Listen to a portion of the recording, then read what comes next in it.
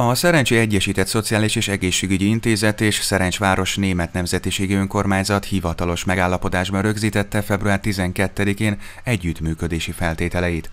Bobkó Géza igazgató főorvos az aláírást megelőzően szólt arról, hogy a kölcsönös együttműködés keretében a rendelőintézet felajánlja segítségét a Nemzetiségi Önkormányzatnak szűrővizsgálatok és prevenciós előadások szervezésében.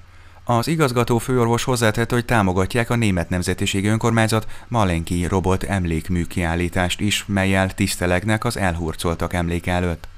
Árvai Attila elnök szerint a megállapodás megkötése kölcsönös előnyöket eredményez mindkét félnek, hiszen eszközfejlesztésről, felújításról, bővítésről szóló pályázatok elbírálásánál kedvező a nemzetiségi önkormányzat támogató nyilatkozata.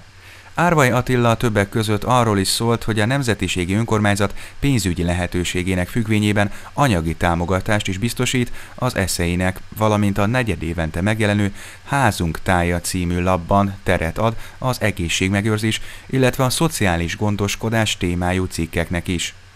A partneri szerződést ünnepélyes keretek között írta alá Árvai Attila elnök és Bobkó Géza igazgató főorvos.